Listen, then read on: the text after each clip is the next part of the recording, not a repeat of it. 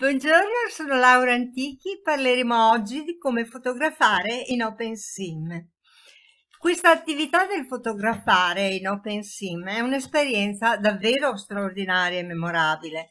Serve per documentare e immortalare momenti per pubblicare anche i risultati delle attività.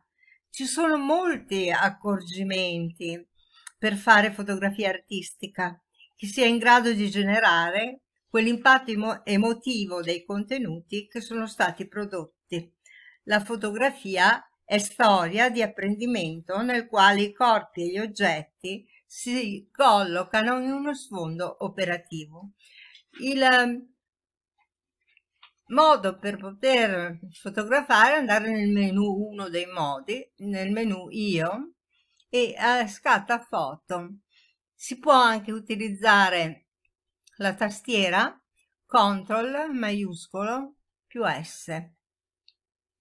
Oppure eh, noi possiamo fotografare eh, ricorrendo pure all'icona che eh, troviamo il, ehm, in basso, vi mostro, de, della macchina fotografica. Questa è l'icona macchina fotografica. Utilizziamo pure questa che è immediata. Che cosa eh, vediamo qui? Che innanzitutto posso eh, eh, catturare i colori, la profondità e mm, decidere anche la, la profondità 24 bit. Posso poi catturare l'interfaccia, vabbè il credito eh, Skype però quello c'è già, posso anche decidere di fare una, eh, una foto dell'interfaccia per riprodurre in basso i comandi selezionando US eh, posso catturare lo schermo tutto intero poi vado in aggiornamento automatico.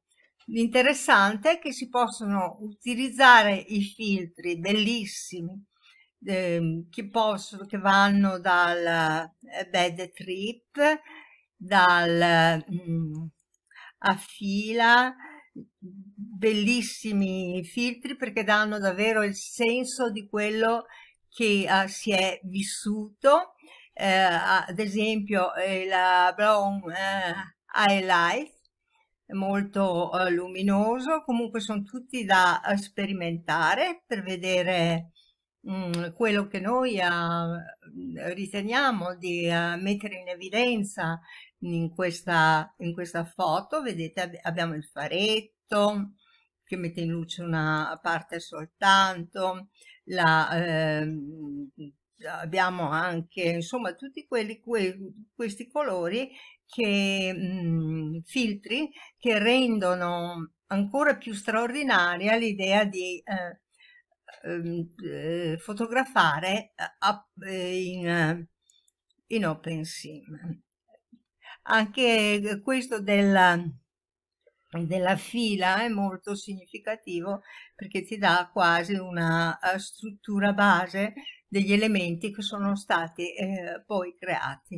Lascio nessun bel, possiamo mettere il blow light, questo che è molto luminoso, poi eh, ti dice se ehm, eh, vuoi eh, salvare sul disco la finestra attuale oppure mh, mm, eh, personalizzare le dimensioni della finestra da fotografare ti dà di default 1024 per 768 e può anche andare, andare bene e poi eh, ti eh, eh, eh, dà la possibilità di decidere il format, quindi eh, eh PNG, eh, JPEG o BIMA.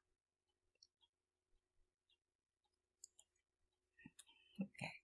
Poi dà la possibilità quindi di salvare, di salvare con, con nome, e in questo caso io andrei a salvare salvando con nome sul mio PC nel formato che ho deciso.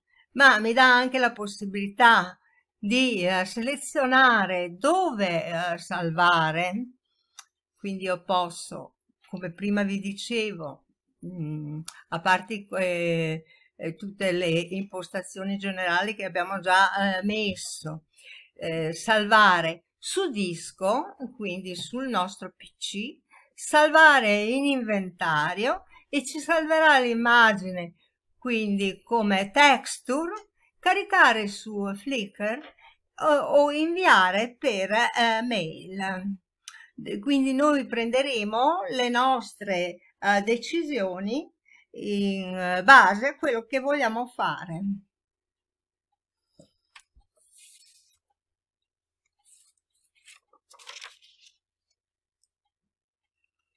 Nel nostro caso quindi terminiamo qui questa prima parte che riguarda la fotografia, salveremo su a disco e andrò a salvare proprio con nome, quindi salva con nome, darò un, un nome, quindi prova,